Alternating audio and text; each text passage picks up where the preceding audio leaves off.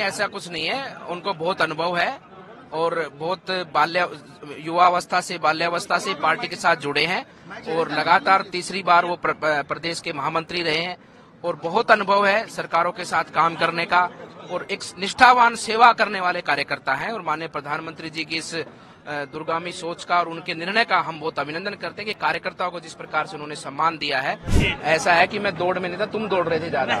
Media ज़्यादा दौड़ रही थी मैं तो अपने शांति से बैठा था। हम तो बहुत सौभाग्यशाली है। हम तो, आया उसके बाद से थोड़ा सा कहीं हम लोगों तो को लगा। बहुत सौभाग्यशाली है कि हमें इतना अवसर मिल रहा है जीवन में। लाखों करोड़ों लोग रोज पैदा होते हैं और हम उनमें उन, उनमें से एक सौभाग्यशाली हैं कि जिनको पार्टी ने अवसर दिया है जीवन में सेवा करने का अवसर मिला। कांग्रेस सरकार में जिस तरह पेपर लीक हो रहे थे लेकिन भाजपा के सरकार में तीन मुख्यमंत्री बने और कहीं भी थोड़ा सा भी एक परसेंट भी लीकेज नहीं है विधायक बहुत को बहुत बहुत यही तो हमारे पार्टी की खूबी है और यही हमारा अनुशासन है।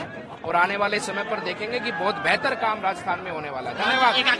धन्यवाद। जिस तरीके से मान मान जी जिस तरीके से महिला अपराध में राजस्थान टॉप पे है जिस तरीके से महिला अपराध में राजस्थान टॉप भाई भाई एक रुक जा भाई रुक जा। मान जी जिस तरीके से महिला अपराध में राजस्थान टॉप पे है ऐसे में महिला डिप्टी सीएम से कुछ फ़ायदा मिलेगा?